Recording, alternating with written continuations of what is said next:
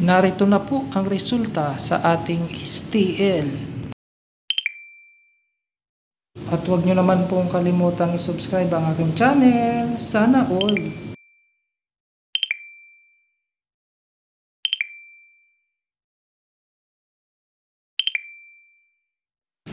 Congratulations po to all the winners.